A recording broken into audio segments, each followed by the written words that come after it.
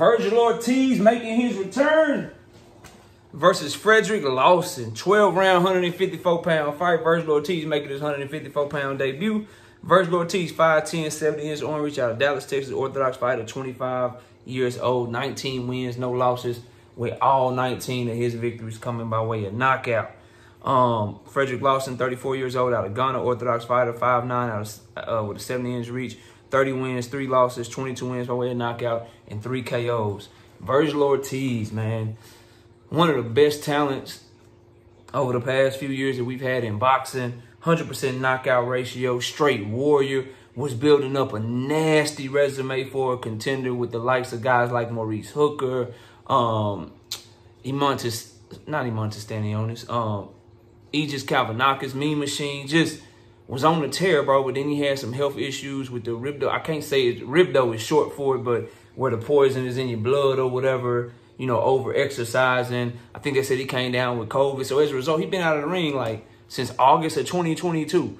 But man, this is a power boxer with counterpunching ability, coming forward with a nice, strong, stiff power jab, body work, and bro, he cracking.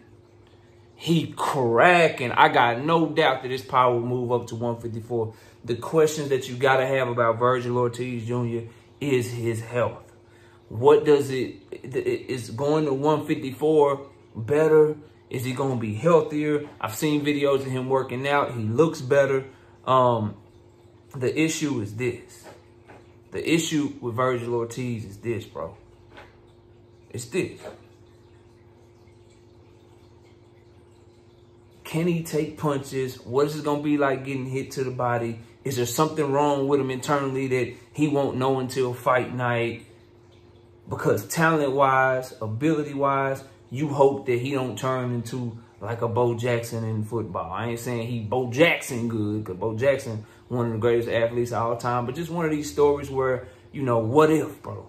If Vergil Ortiz, when they had health issues, damn, he could have been this, this, this, and this. You just hope that he gets to realize his potential and he gets to continue his career and reach whatever that potential is. For Fredrick Lawson, 34 years old, he gonna come to fight. He a banger. Um, he his feet ain't fast. He ain't back footed. He gonna come and he gonna he gonna get he gonna get to it.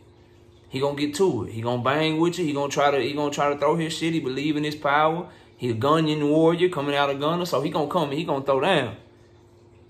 That's the wrong thing to do with Vergil Ortiz, homeboy.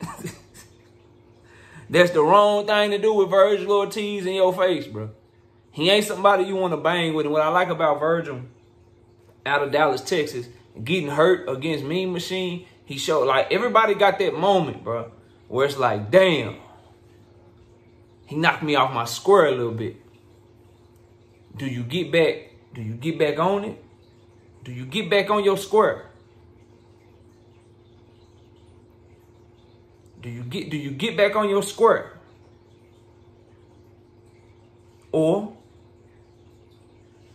do you fall off? Do you go away? Do you do you wilt under the pressure? And he showed against Mean Machine, he was a dog. He got up, started throwing punches even harder, waving Mean Machine in, recovered, and stopped his ass. So he a dog. Even if Fredrick Lawson clip him in the fight, I know what Vergil Ortiz gonna do. So I'm gonna keep it 100 with you. I think he gets some rounds in. I think he start off rusty. I think he turn up mid to late in the fight, and I think he keep his 100% knockout ratio going. Fredrick Lawson ain't got the defense. He already been knocked out multiple times. And Vergil Ortiz is much more skilled, much more dangerous, much more relentless than anybody he ever been in the ring with. And as long as Vergil is feeling like Vergil, long as he feeling good, long as he feeling healthy, somebody like him whose style is not predicated on timing and he got timing, don't get me wrong, but timing, movement, counterpunching ability, you know, matador, my jab and, you know, pull counter, head movement. Somebody's style is predicated on that. Maybe they'd be a little bit more rusty and they, they would need more time to get going. But somebody whose style is built on, bro, I'm walking through you.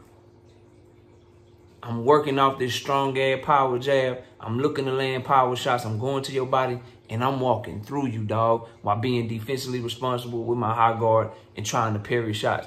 That shit right there, you can have some a layoff like what Vergil Ortiz had. And as long as you had a good camp, as long as you're healthy, you can come in and just pick right up and be able to still put on a similar performance to what you had been doing when you went out. So I'm going to assume health because I have trust in Robert Garcia, Vergil Ortiz, his father, um, and his team that they wouldn't let him fight. He wouldn't make it to this point. He wouldn't be gearing up, you know what I'm saying, to to to fight unless they felt confident that he could be who he is. And based on the tape that I seen, he looking strong, looking full, looking healthy, looking like the monster that he always looked like. So I anticipate that that's who we gonna see. And I don't think Fredrick Lawson can do nothing with him. So I got Vergil Ortiz Jr. by stoppage round six to round eight. Y'all let me know who y'all got. We out of here. Peace out.